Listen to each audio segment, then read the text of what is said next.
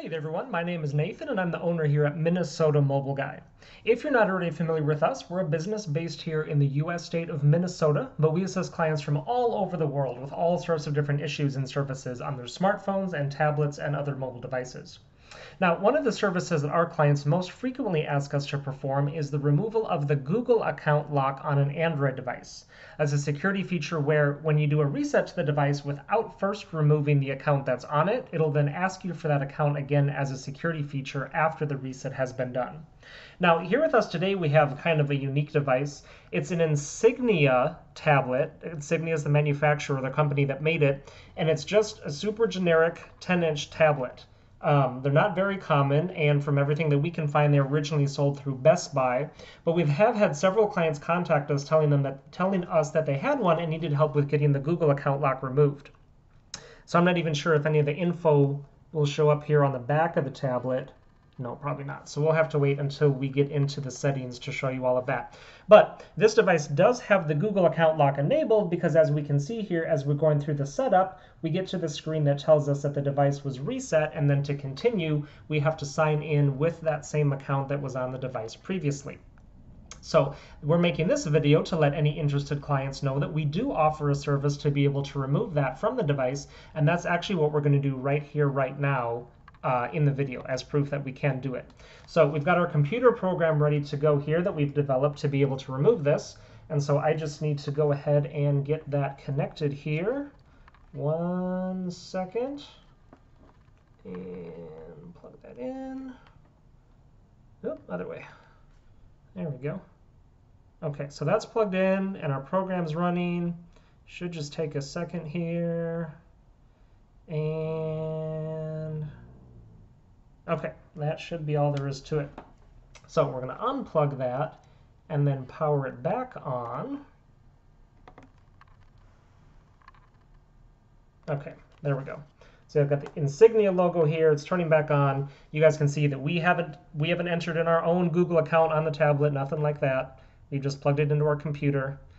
And then now once it boots back up, we should be able to see that we can get all the way through the setup process without seeing that Google account lock.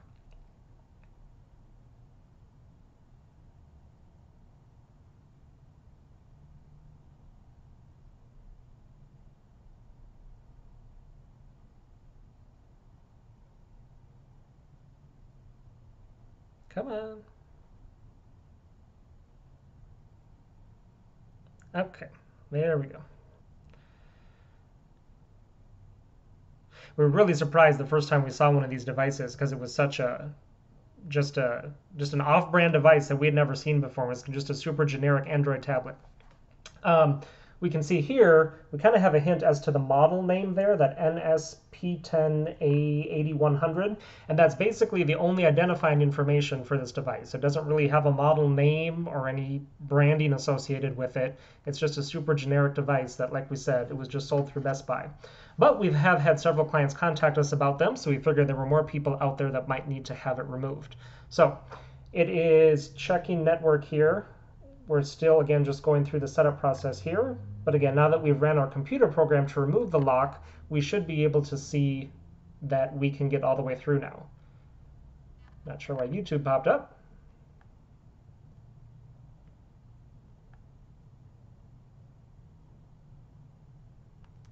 And we're still waiting for it to run through.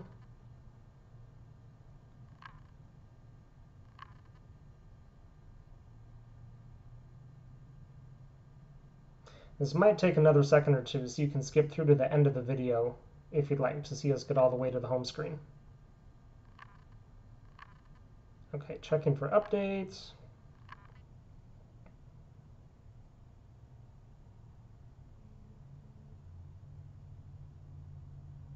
Come on, seriously?